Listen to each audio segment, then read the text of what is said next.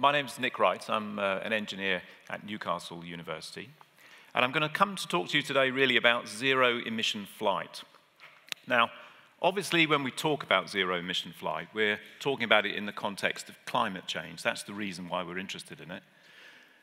Now, but interestingly, when you think about the kind of discussions or what we see mostly in the media in terms of positivity about climate change, we hear about offshore wind, we hear about electric cars. For some reason, we never really hear much about positive options for flight. We just hear about the problem. And what I'm here to talk to you today is actually about the positive side, actually, about how that we can find solutions that will help us, actually, to avoid the problem with the current situation with, with aeroplanes. But I'm going to start my talk in a perhaps a slightly un unexpected place. Uh, what you can see behind you is a picture of New York. It's ground zero after the 9-11 attacks. And actually what you can see here is the memorial, the light memorial that was made to uh, commemorate the event and to, um, you know, to, to remember the victims and the suffering of 9-11. And 9-11 was obviously truly a terrible thing. But it did create a rather unexpected consequence, which we can use actually to think positively about the question of aeroplanes. Now, normally, when we try to think about, you know, Herbert's mentioned already, we're all sort of aware that flying is a bad thing. It's a bad thing for the environment. But the question of how exactly how bad it is is actually quite hard to actually measure. Because if you think about it, in general, what we would have to do is go compare a situation in the distant past where there were no aeroplanes with the current situation where we have lots of aeroplanes flying. And unfortunately, lots of other things have changed in that time period. So it's really difficult to actually quantify exactly the effect on the climate of, of flying. Except that after 9 11, the US authorities closed US airspace for three complete days. This is a completely unique circumstance that has really never happened before. And so, in that three day period, there were virtually no planes flying anywhere across the whole of the continental US. A completely unique circumstances.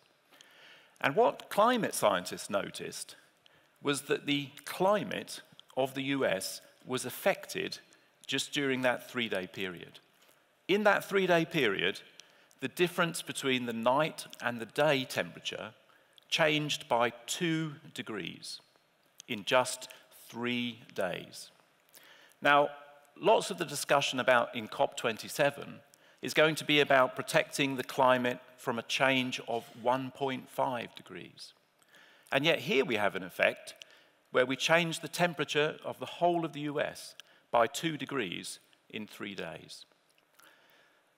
So I would say it's pretty clear that flying has a major impact on the climate. And therefore, we need to stop procrastinating and doing something about it. We need to figure out positive solutions to do something about this effect. And that's really what I'm just I'm going to talk to you about uh, now. So why does flying have such a big effect? Well, the first thing is actually that it emits carbon. We're burning a fuel, and it, that carbon emission is very powerful. The other problem is that we emit the carbon in the high altitude rather than on the ground. So it interacts much more directly with the atmosphere. Actually, it's believed that the effect of the carbon emissions is twice as high at high altitude than it is on the ground. But there are also other effects as well. The picture you can see here, it's those fluffy white clouds that we all like. We all love to see these in the sky as the plane flies overhead. They're called contrails. The contrails are emitted directly from the jet engine. They look cute from a distance, but actually when you look close up, they're just another form of pollution. What happens here is that the engine emits both water vapor and soot. And that soot they combine to produce these contrails. And it's these contrails, actually, that are behind the 9 11 effect, or at least believed to be. They act as a sort of seed for the formation of high altitude uh, clouds.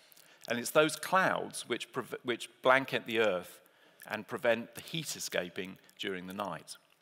So these contrails, although they look cute, are actually a major issue for the climate uh, and directly, of course, caused by planes. Now, when we think about making transport more sustainable, we generally, our immediate solution, our standard playbook, is to electrify it. So we have electric trains, we've had those for many generations, in fact. Some people here today will have come in electric cars. We're all familiar with electric cars. And electric ships also exist. So the question is why not electric planes? Why not use the same solution to see what we can do to improve electric planes? The problem, though, is that planes need to be both powerful and light, and the power levels are quite considerable. A passenger jet, if it was converted to electricity, would need to use megawatts of electrical power. So one passenger jet would need the electric electricity of a small town like Morpeth. So the power levels are very, very high. And that's one of the problems that stopped progress up to date. However, there are electric planes that do already exist. This picture that you can see behind me, it's not a simulation, it's not a computer-generated image. This is a real electric plane.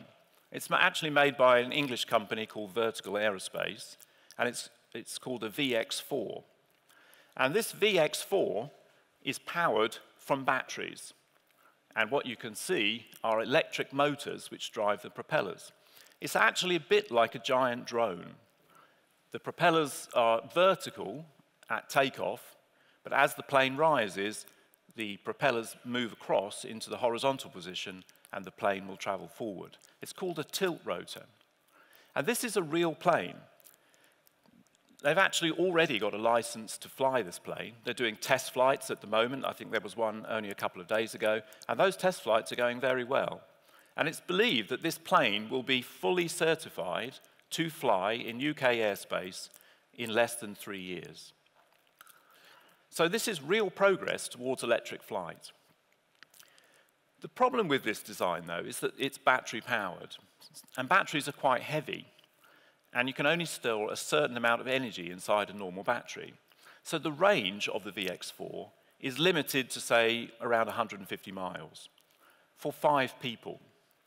It's often described as an air taxi. So if you imagine, for example, you want to travel between Newcastle and, say, Manchester Airport, at the moment you have to endure a three-hour train drive. If you're lucky, the train will turn up and you'll get there. But it's three hours. This VX4 will take you from Newcastle to Manchester Airport in less than one hour. And it's completely silent. So it can land on the roof of a car park, or in a park, or a field, or anywhere in the city. And it's widely believed that within a few years, we will see these kind of air taxis moving around our cities. So this is real progress towards electric flight. The problem is it's limited in range. The batteries are quite heavy, and if we want to fly further, then we have to have a different solution. So up on the screen here, this is pictures of one of my favorite places. In fact, really my favorite place outside of Newcastle is Lisbon. It's a common destination south of the Mediterranean. That's about 1,600 miles for us from here in Newcastle. Batteries are limited in the power that they can create and the density of energy that they can store. So even with the most outrageous improvements in battery technology, we're never going to get to our holiday flights using a technology like the uh, VX4. It's always going to be limited in range. It's an air taxi. It's not going to travel long distances. So we're going to need a different solution for our flights, for our holidays, and of course for long distance intercontinental flight. So what could we do for long distance flight? Well, some people actually propose something different. They say, let's put that standard playbook about electrification to the side, and let's just use conventional planes, but let's just change the fuel. So we could change the fuel from, the fuel in a normal plane at the moment is called kerosene. It's a bit like petrol, a special kind of petrol. It's made from oil. They proposed that we replace that kerosene with a biofuel. That's a fuel that's derived purely from plants.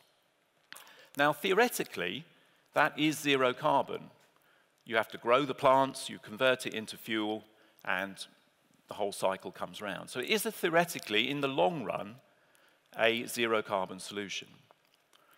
The problem is actually, when you dig a bit deeper, as you can see in this report here, what you find is that most of these biofuels are actually um, derived from forests.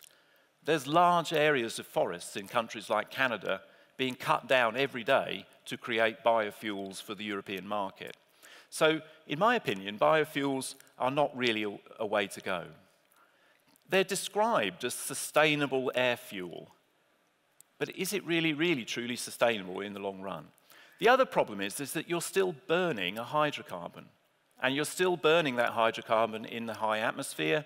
You're still creating contrails. So you're still going to have those effects. So I don't think this solution is good enough. We need a better solution than just changing the fuel. So this is the sort of technology that I'm proposing and a lot of other people are proposing as well. I do accept that we need a fuel. Batteries just can't store enough energy per kilo to give us long-range flight. And battery flight is also quite slow. The air taxi can only go at around about 150 miles an hour. That sounds a lot compared to a car, but it's about one third of the speed of a normal plane.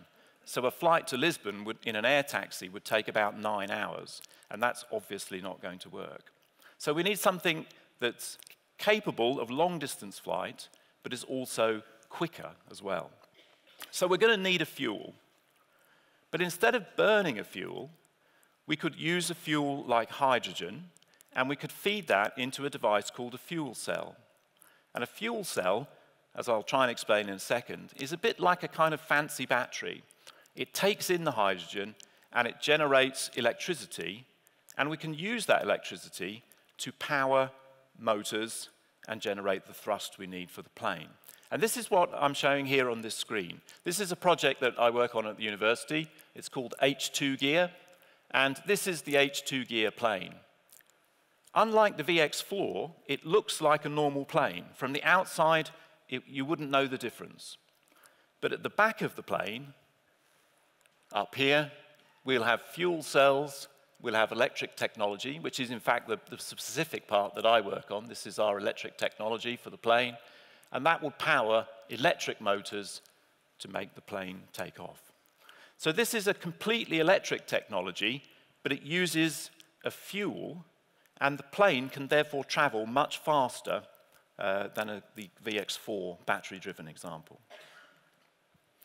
So just to give you an illustration a little bit more about how this technology works, on the left-hand side up here, I've got a fuel cell. This is really the magic inside the H2 gear plane. This is the real thing that generates the electricity from the hydrogen. And what happens is we feed in the hydrogen, we feed in oxygen from the air, and it generates electricity. And the only byproduct is pure water, not dirty water, pure, clean water, so clean that you can drink it. So the fuel cell is a completely non-polluting way to generate electricity. And then we can feed that into our electric motors to generate the thrust for the plane. Now, when I describe this to people, usually the first question they ask to me is, okay, that sounds very clever, but where do you get the hydrogen from? And in fact, it's actually not so difficult to generate hydrogen. There's a process which has been understood for many years. It's called electrolysis, and it's used every day in, in many industries to generate uh, hydrogen. And this is a machine here that does exactly that. This machine takes in energy, it takes in electricity, but that could be renewable energy from offshore wind farms or for any other renewable method. It takes in as input only pure water. And then the electricity is used to split the atoms of the water apart to generate the hydrogen and oxygen that you would need for the fuel cell. So this is a completely sustainable process that need involve no burning, no combustion, and no hydrocarbons of any kind. Completely 100% renewable. And these technologies have existed for many, many years. You can buy them very readily for use in this kind of technology. So the big question really is, how do we make all of this happen? As an engineer, having seen the details of all of this, it's quite clear to me that 100% sustainable electric flight is completely possible. We have all the technologies that we need. It's not necessary to power planes by hydrocarbons, causing all the damage that they do. We need to do just like we've done with electric cars and build electric planes that will actually remove all of the source of all of these pollutions. The thing that we need, though, is that we need pressure. We need pressure from people to make this happen. The only reason that car companies are building electric cars is because there are regulations that force them to do it. We need regulations to make airlines fly electric planes. Now, as an engineer, I think this is a completely feasible prospect. But what I'd really like to see is COP27 insist that we move to electric flight, produce regulations that will force airlines to actually do this. Because otherwise, I think they will procrastinate. Thank you very much.